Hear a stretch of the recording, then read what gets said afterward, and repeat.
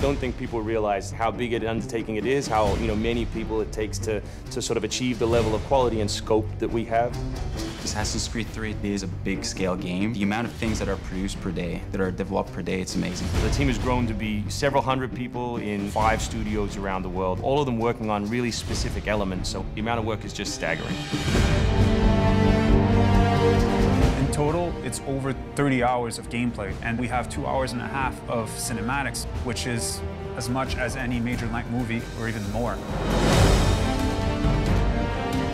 We have an amazing team on AC3. Everyone's super passionate about the project. We really all work really hard together as a team, and I think everyone's pushing to ship an amazing game. The feedback we've been getting from fans, from critics, it's just driving everyone even more and more.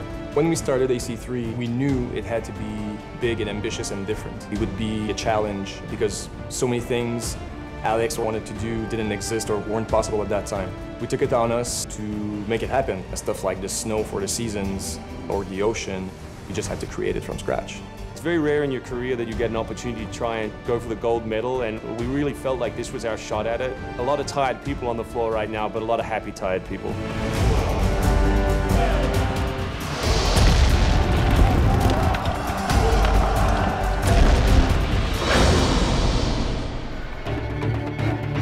We've always tried to pick exciting periods in history, then drop the player in, so they're exploring that time as well as our fictional story. Make ready. Present. The American Revolution was a very pivotal time because the concept of self-government as opposed to being governed by royals, it was very radical for the era. It's a great setting for a game because there's high stakes. It was the founding of a nation. It was a time when an individual could make a difference. It was all or nothing. They had to win or die. The American Revolution begins as a dispute over taxes, and as it unfolds over the course of the 1760s and 1770s, it becomes a contest that eventually defines the modern conception of liberty. The themes that are present in the history, these ideas of power and slavery, of control versus freedom, are, are not just debates within the American Revolution, but also debates within the history of the franchise. The Revolutionary War was an incredibly brutal experience. You think about these weapons, muskets and flintlock pistols, are they're one-shot weapons, they're very inaccurate, cannonballs were ripping off limbs. This is something you just don't really hear about in the history books and something we wanted to bring to life in the game.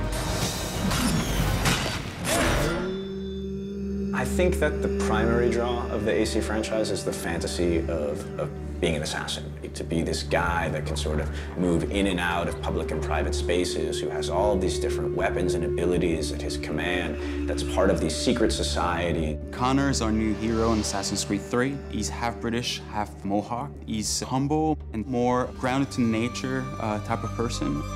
We did a lot of research into Native American culture. We've recorded dialogue in their native language. The main character, Ratonhnhaké:ton, he is half Kanien'kehá:ka. He speaks Kanien'kéha. It's not a very book language, it's more oral. My job is to make sure that their intonation is good and their pronunciation is on. Wasqueni. Nehiwahi. Mm-hmm. Excellent. I loved it. And we've tried very hard to reflect their culture as accurately as possible. His name, Ratonhnhaké:ton, it refers to a life that is scratched, meaning that he had to struggle to survive. Connor, as a hero, is someone who sees himself as a defender of the people. He's more inclined to justice than revenge. It's one thing to declare our independence. But now, my friend, we must make it so. Connor's goal is to assassinate key historical figures at major battles, at major events during the Revolution.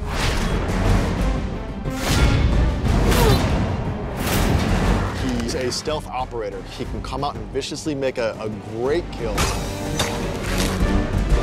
then blend right back in.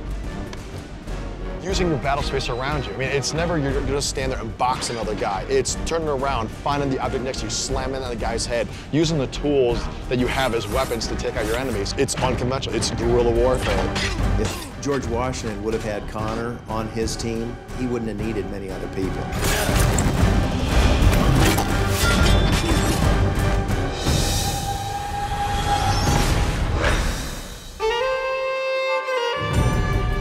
Anvil Next is an engine that gives us the possibility to do things that were not possible to do before. The weather system, the seasons, the formable snow, bigger worlds in general, the ocean. It's the sum of three years of improvements that we've built upon. Brand new navigation system, brand new combat system, two and a half thousand characters on screen at any one time, being able to cut through interiors in the city. Anvil Next is a massive leap forward in terms of gameplay opportunities. Cliffs, trees, climbable stuff, the water, that was pretty exciting but also very challenging. We've got the frontier as well. We've got two of our major cities, Boston and New York. Once we dug up maps from the period, we tried to match street for street or major avenue for major avenue. We recreated Boston and New York at about one to three scale. We set out with crazy ambitions for this game, and with Anvil Next, it brings the experience to a whole new level.